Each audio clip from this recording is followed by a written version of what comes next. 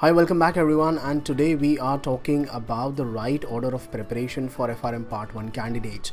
Now many students are actually confused as to which book they should start or basically how to start their overall FRM preparation, right? So in this video we're going to be talking about that and very logically I'm going to explain you like why this thing makes sense, why this particular book makes sense to do it at first. Okay. all right and before we go ahead uh, make sure that you subscribe to our youtube channel. Okay so this is a success testimonial from one of our students who's cleared his frm part 1 in november 2022 the name of the candidate is kenton from malawi. You can pause this video and you can read the success testimonial. And these are pricing and plans that is available on our website that is www.vardeez.com where we are we've got a batch for english Hindi also Hindi plus English if you're looking out for May or August we've got a batch for FRM part 1 May and August as well. And there's also a free sample course on our website. Go ahead you can enroll for this free sample course on our website. Okay now here you can see that for FRM part 1 we've got these four books book 1 book 2 book 3 and book 4 and the weightages for each of the book I've mentioned out here now there are 11 chapters in book 1, similarly 15 here, 20 in book 3 and 16 in book 4. Now the natural question is which book should you take first? I mean you can take it you know book wise like book 1, book 2, book 3, book 4 but what I feel is the very natural progression that you should follow is that you should start with book number 2. This is a very natural sequence. You start with book 2 then you move to book 3 then 4 and then finally you take up book 1 or you can even make a jumble up approach. For example you can take book number 2 and then once you're done with this you can take both these two chapters chapter 5 and chapter 6 wherein you will see a lot of things about the statistics that you've just learned right? So this way once you're done with this you can even take this this and then move on to book number three. And it actually makes sense. Why? Because a lot of things that you learn here in quants they are applied over here in these two chapters. You talk about regression over here yes you will see over here. You talk about distributions that you see yes you will see in these two chapters.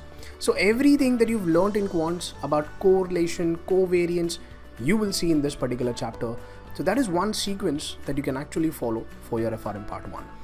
But why should you start with book number 2? In quantitative analysis, you will learn all the things that is actually needed now I've already given you an example about why you should take this and you can whatever that you learn here you can directly apply in uh, book number one for that fifth and sixth chapter but apart from that many things that you see in FMP, many things that you see in uh, in the VRM, you will you you see a lot of instances where quants or the statistical knowledge is required. So naturally, it makes sense that you start with this book, acquire the skills that is needed to understand those topics, and then you will be able to better appreciate the content that is there in book number two and book number three. So that's the reason I recommend this particular approach. As an example, in FMP, okay, and also in VRM, the very first chapter that begins with value at risk, right? A lot of things, the underlying essence of value at risk lies in the heart of the distribution. So if you do not understand this particular distributions out here, you'll not be able to fully appreciate the concepts behind the value at risk. Another example that I can give you is the binomial trees, okay, which is also there in VRM and most of the things in binomial trees has been taken from quants. You will see about log normal distribution in the BSM chapter in VRM.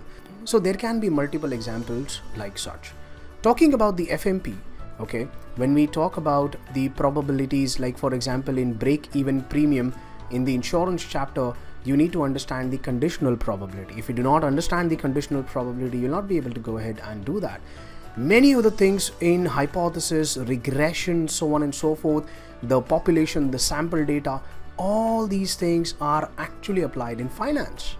Also, the measuring re returns, the Monte Carlo simulation, which is also a method in the value at risk everything that you see here is going to be applied somewhere else. And that's the reason we have these things in, in, in finance right? So go very in a structured way start with quants and then move on to other books. All right? Now there are some people who feels that maybe quants is tough. Uh, maybe we can start with book number three which which seems to be easier to to some.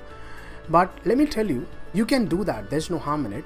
But it's just that you need to have a basics of quants and then you can move on to these things and then you you do whenever you feel right for the quants. That's the choice is absolutely yours but the natural progression is this. You you start with book 2 and then you move on to the financial things right? But if you are not comfortable with quants you want to do like okay i want to start with the easiest see any which ways. You do it now you do it later you will have to complete it. Then when you move on to book number 3 and book number 4 either you can take it one by one that is entire book 3 by 1 or maybe you can just take entire book 4 at once. Or the alternative that you can do is you can just take it simultaneously. As an example here what i've done here is that i've i've divided this entire book wise into these uh, things that you see here in, into major chunks. The first one is the derivatives as you can see four five six chapters they talk about the introduction to derivatives how the derivative markets work so on and so forth. Then we've got the first type of derivative which is forwards and the futures. And then we've got the options and then fixed income products and then some other things out here. And this is the fourth derivative which is the swaps. And book number three basically it tells you or it introduces to the financial markets and the different products that we have over here right? And then book number four is a natural sequence. Why?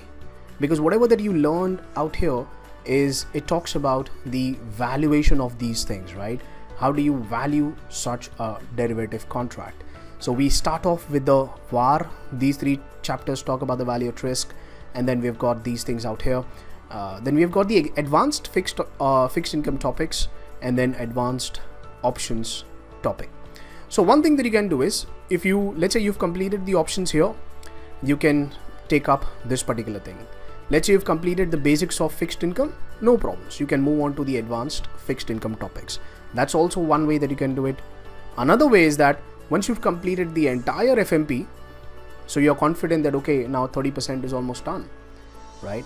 Then you can maybe just move to these advanced options and then take fixed income and then take the other things which is left out. That is also one way that you can do it. But i hope having a, a visual you know uh, appearance like this it gives you a kind of logical thought process as to where to start where to begin. That's that's what the entire purpose of this video is to help you understand where naturally the progression is. And then finally what we are left out is book number one. So if you've already done these two chapters right after quants fantastic. You've almost completed uh, major things or mo most probably i would say the calculative things that is there in foundations of risk management. Then what's left out is the other chapters. You follow any sequence you like. And maybe uh, just to give you some hint this particular chapter chapter number four chapter number 9 chapter number 10 they are actually related. So maybe in just when you start with fourth move on to chapter number 9 move on to chapter number 10 you will have a proper sequence that that is going to be needed right? So that's one thing that you can do. And all the other chapters are essentially they are on a standalone basis which is absolutely important in this particular FRM course. All right so finally to sum it up you can start with this this this and finally book number one. Or if you want to start with the book number three you can combine it. You can take it a standalone basis whatever that you like. This is something that you can do. So i hope that this video has been uh, it has been helpful to you. So with that being said guys thank you so much for your time and have a good day